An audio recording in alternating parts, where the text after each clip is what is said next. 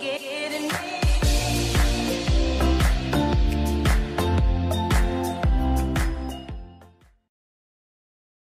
Hi everyone, welcome to Becky's Crafts and Goodies. Today um, we are doing the draw for the bunting giveaway.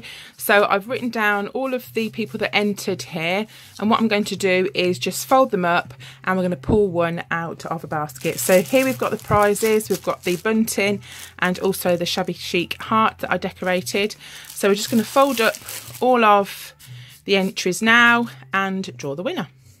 Okie doke, so all the entries are here in this little basket. I folded them all up, so I'm just going to give them a mix around and pick a winner out. Which one should we go for? Let's go for this one. And the winner is Vlogs and Crafts by Christine. So well done, Christine. Thank you for entering. If you could just let me know your address and um, I will get these out to you straight away. Well done and thank you so much for watching guys.